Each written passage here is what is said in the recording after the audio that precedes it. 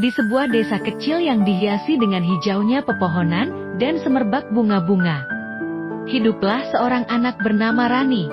Rani adalah seorang anak perempuan yang memiliki hati yang penuh kasih sayang dan penuh dedikasi terhadap ibunya. Ibu Siti.